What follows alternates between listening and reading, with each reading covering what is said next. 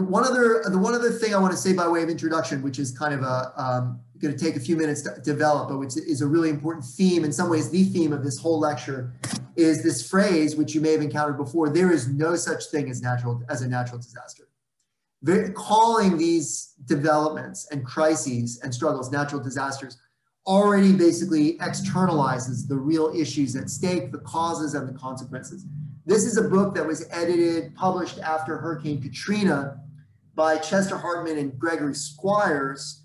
And what I want to focus on is an article that I actually should have assigned for the session. And it's easy to find if anybody wants to read it after the class today by the great critical geographer um, Neil Smith. Um, who passed away tragically um, some years ago, but a brilliant figure in critical radical geography, somebody I got to work with a little bit during my New York City days, and who we, we miss in the field of critical urban studies because he was a brilliant, fiery critic and in, brilliant, insightful scholar. But he wrote a piece after um, Katrina, 2006. If you just Google Neil Smith, there's no such thing as a natural disaster. You'll find it. I encourage you to read it and I just want to quickly summarize what Neil Smith argued, which is incredibly relevant for understanding the other meetings for today. So this is his summary of the, the, the, proposition of what it means that there's no such thing as natural disaster. He says, it's generally accepted among environmental geographers that there is no such thing as a natural disaster. In every phase and aspect of disaster, Neil Smith wrote, causes vulnerability, preparedness, results in response and reconstruction the contours of disaster and difference between who lives and who dies is to a greater or lesser extent a social calculus. Fundamental. So the causes, the vulnerability, preparedness, results and response, reconstruction, it's a social calculus.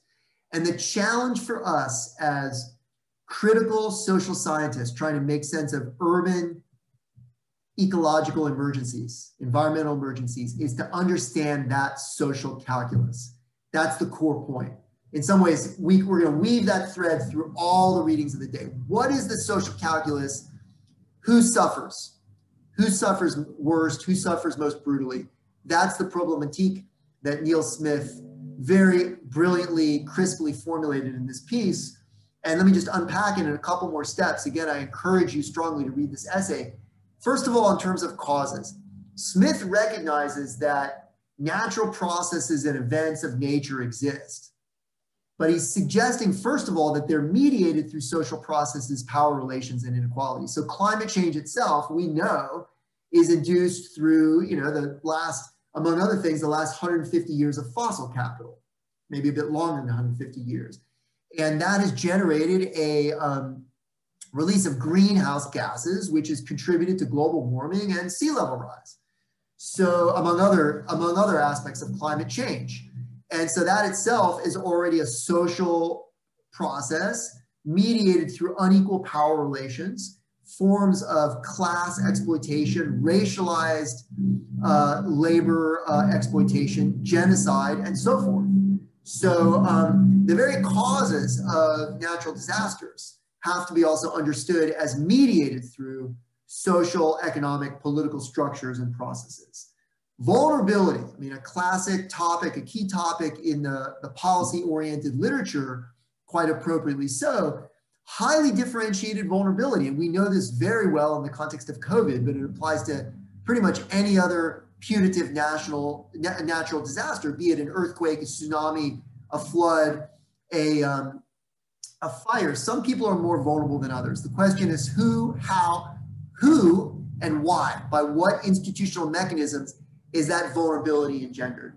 So the class and race gradients of risk and vulnerability are a key um, focal point and puzzle for sociologists of disaster.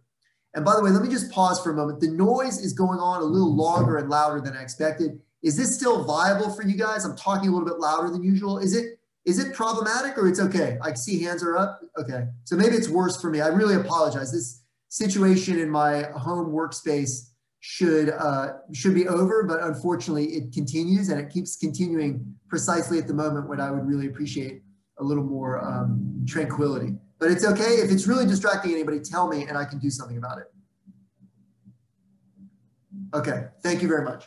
Okay, so vulnerability is unevenly distributed. Um, again, the social calculus that Smith alluded to in the quote from a few slides ago, he's now unpacking as class and race gradients of risk and vulnerability.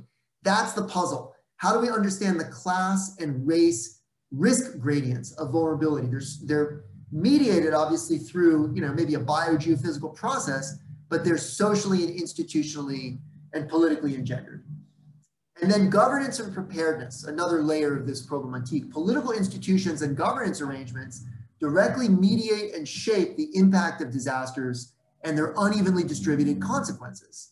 So existing systems of social support, housing, healthcare, communication, infrastructures of emergency management and disaster response. Again, Hurricane Katrina is a classic example, but we could give other examples from you know Texas, from Dallas or Houston right now, where existing structures of social support, if you're already vulnerable or you're already um, unhoused or inadequately housed, and an event like this happens, you're much more vulnerable to um, extremely um, dangerous, if not life-threatening consequences of the disaster. Um, if you're not, if you, you know, some people prior to Katrina or other imminent natural, natural disasters might have the means to relocate elsewhere. Like in South Florida, if, uh, you know, there's lots of hurricanes that roll in every fall. So some people have the means to basically get out, get out of town, but most people don't.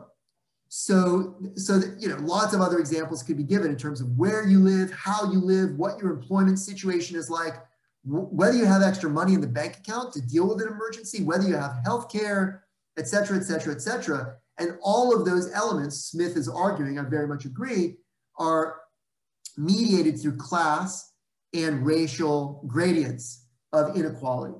So that, and then also Smith emphasizes the distinction between the event itself and the aftermath.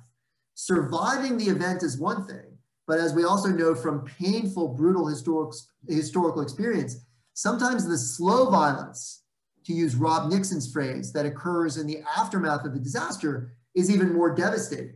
So the disaster is not simply a punctual event, but it can be like a long-term process and often is a long-term process in which the social inequalities um, that pre-existed the, the, the, event itself um, generate or um, become this, yeah, they basically generate and mediate even greater forms of social suffering and inequality, again, depending on the ways in which governmental institutions and other uh, public uh, agencies manage that particular situation.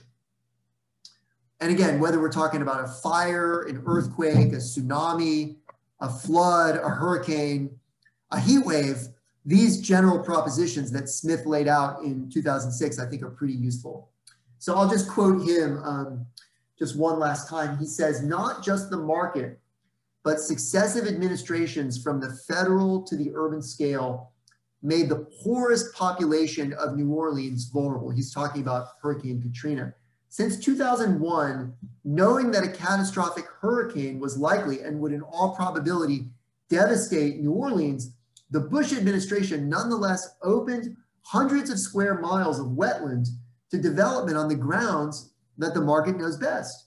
And in the process, eroded New Orleans' natural protection. So, precisely the wetlands that would have, if left protected um, from development, would have actually buffered the effect of Hurricane Katrina. They were, um, they were developed. So, um, anyway, he continues basically with this um, argument. He says, given the stunned amazement with which people around the world greeted images of a stranded African American populace in the deadly sewage pond of post Katrina New Orleans, it's difficult not to agree, to agree with Illinois Senator, then he was a senator, Barack Obama. The people of New Orleans weren't just abandoned during the hurricane, they were abandoned long ago. So Obama certainly had it right. Um, as Smith then continues to argue, the uh, reconstruction and repair is also another social class and racial gradient. Disaster reconstruction invariably cuts deeper the ruts and grooves of social oppression and exploitation. Again, a very crisp formulation from Neil Smith that it, the, it cuts deeper. The, think about that metaphor. So the ruts and grooves of social oppression and exploitation, they pre-exist the disaster. But what the disaster often does is it cuts those ruts and grooves deeper and exacerbates them. Maybe it forms new ruts and grooves, but it's, it's, it kind of rolls through and cuts deeper the grooves that were already there.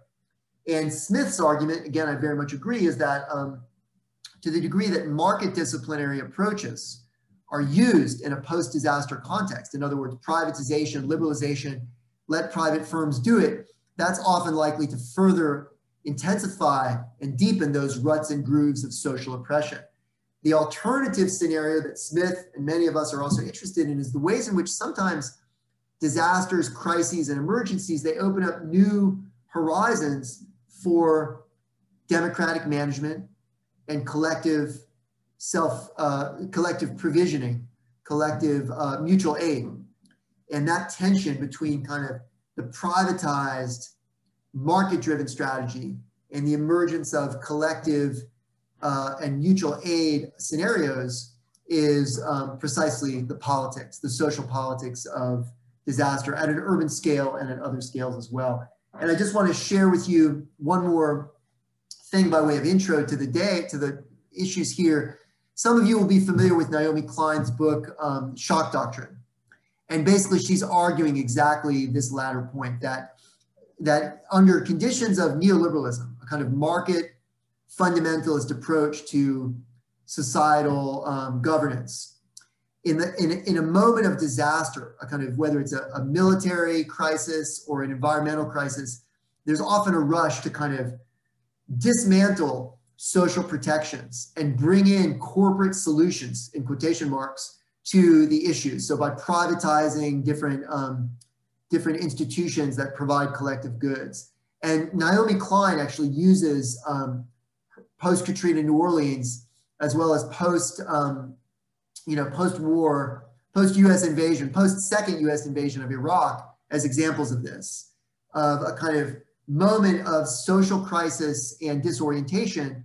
And that's used by the forces of kind of neoliberal corporate capitalism as a way to seize power and roll out um, market-based um, approaches to um, societal governance. And in contrast to that, this very interesting book by Rebecca Solnit, whose work I mentioned last time on, um, on New York City, of what she does in that book. I don't know if anyone has seen it, but I highly recommend it. She looks at the ways in which it's this idea of a paradise built in hell, precisely in moments of deep societal crisis and emergency, networks of mutual aid form and actually point towards, she argues, a completely different form of society. So it's precisely this contradiction, the disaster as a moment to increase private corporate control and marketized forms of coordination versus the counter vision, the counterpoint of Klein and of Solnit and others, also of Neil Smith, of the disaster actually opens up a space in which people recognize, well, a lot of different things, their common humanity, the, um, the impulse to help one's fellow human being and alleviate suffering and sacrifice for the, for the collective good. So some pretty basic values that in many ways are at odds with a kind of market disciplinary, market fundamentalist um, approach. So I want you to keep that contrast in mind between the kind of market driven or market disciplinary uh, reaction to a disaster and the more solidaristic, mutual aid oriented approach.